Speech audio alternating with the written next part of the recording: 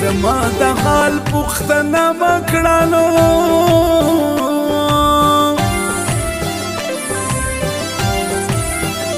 دلی ونو پښوان ژوند دې مړې کړم وای د جنې پلار داسې مکړه الله زبنګړي په درا کړی دینا ساړه ساړه اسوي نیمه کړه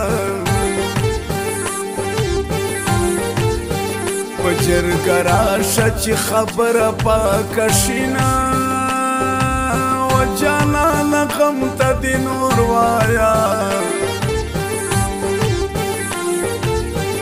ما دې د ژوند د کاره نه باسي مینه یو اوښکې روانې کور ته لاړم پردی راوړي بد څه خیال وساتینا ودرنې جرګې در باندې کړم وې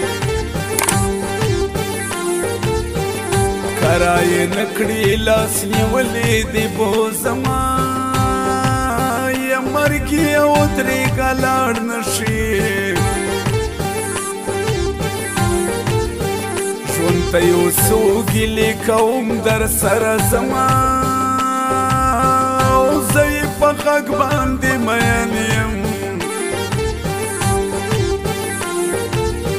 بلالي وخبره دوه واري کومه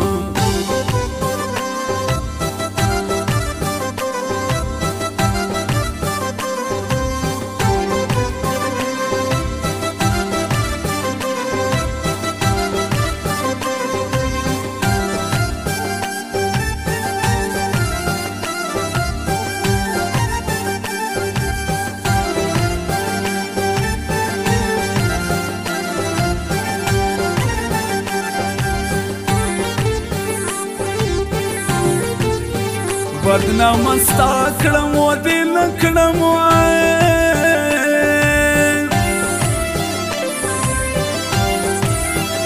سدي خمسولو مخ کې ټټ سترګې کړم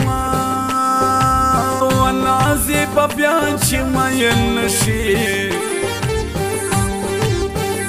چې بي وفا جنان کې سي دي یادې وینا وپتو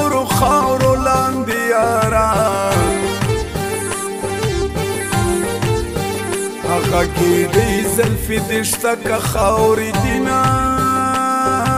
وسوک فیزان تا نپریگ دیوائی چیسی یار کڑم بیا بناز نخری کوینا و دبل پخلی پی غورا کڑو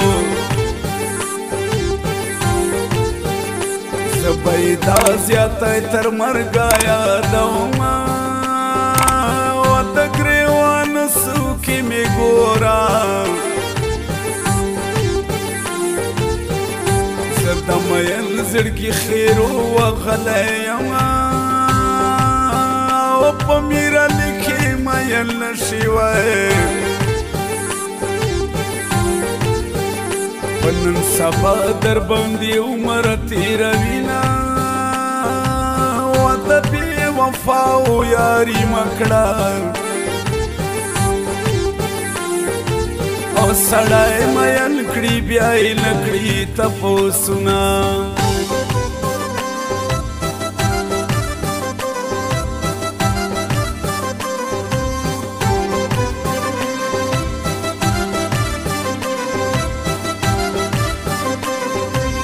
रिकॉर्डिंग Abaseen स्टूडियो Navrang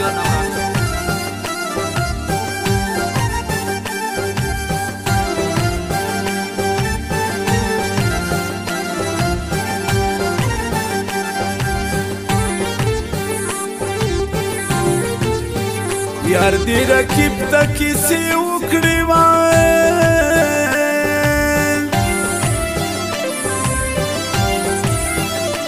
چې خوري ورکړو په خندارې بیا راځي نه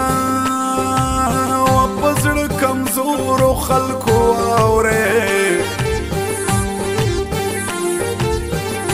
مینه و نکړې زندگی تبا کوي نه او زمانه ولې ګیله منې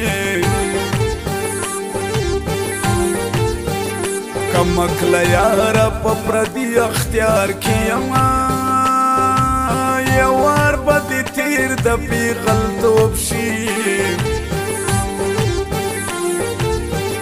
دومره په خپل ځواني مکا و نازونه وینا دان ته داسې کیسې مکړه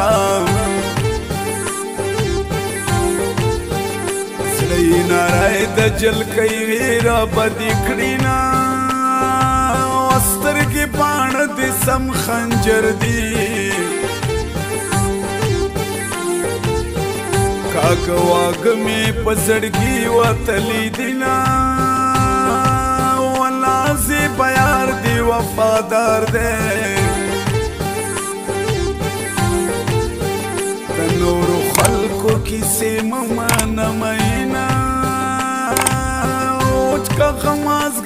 دنیا نه وای او زبد خپل جانان ولې بیلې دمه